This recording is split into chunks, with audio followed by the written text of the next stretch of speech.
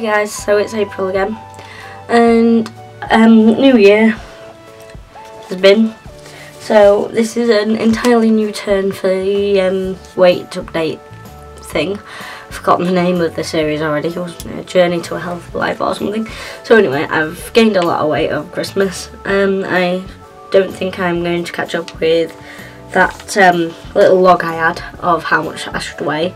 I think by now I was supposed to weigh what like I've already lost a stone. um, no, I've gained weight. So I'm, I'm going to make a new um, schedule right now.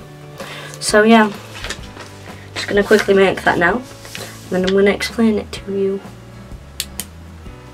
To make this, um, I'm going to, in the little margin, I'm going to write the, well, I'm going to write today's date. No, I'm going to write the date on Monday. So it'll be the 16th, Monday the 16th of January. So I'm going to write that because that's when I want to properly start my diet. So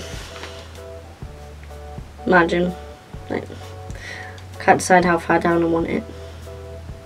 And then I'm going to write, right, by that day, today's Thursday, so within four days, I want to weigh 10 stone 11, which is my current weight right now. It was um, it was um, 10 stone 10, but I've gained a pound, so 10 stone 11. So I want to stay this weight because I'm having a fun weekend this weekend. Belinda's over, so we're probably going to pick out, so. Alright, little columns. Alright, a little column, column called expected weight.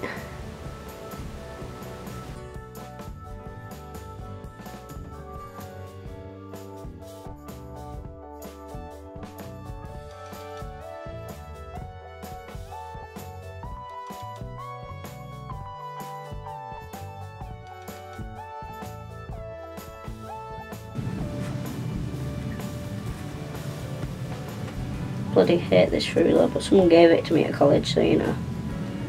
Right, so.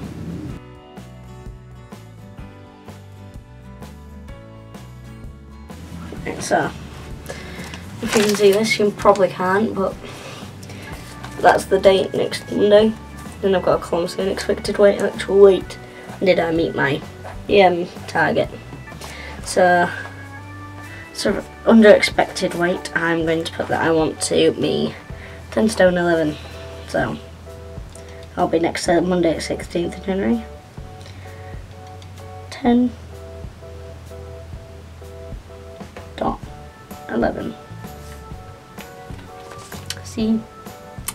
Now then I'm going to say two weeks after that, which is 30th of January. I'm going to write that next.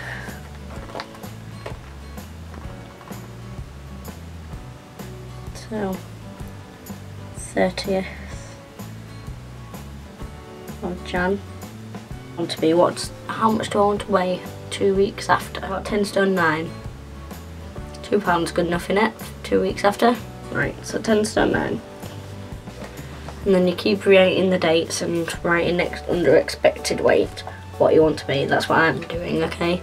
Um, it's up to you whether you do this as well or not in some ways it can be bad for you. Some people end up with things like bulimia for doing this because they end up really desperate to get to that weight, but I'm pretty sure I won't. So anyway, next I'm on 13th of February.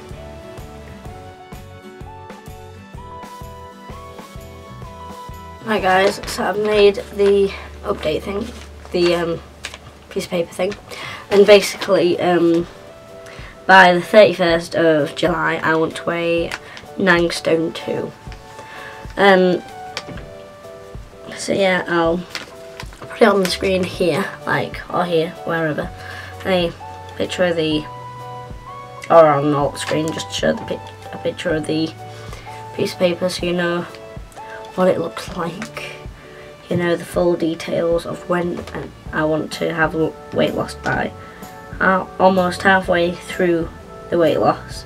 There's a little like standpoint where for like four weeks there's um, I'm staying the same weight and that's just in case I don't manage to keep up with the entire thing. You know if I'm a bit lazy these few weeks and I just don't keep up with it there's this little catch up section if that makes sense to let me give me time to catch up to what I'm supposed to be um, if I manage to you know exceed that weight so if I'm if it says 10 stone 7 on 13th of February and by 13th of February I'm 10 stone 5 then brilliant.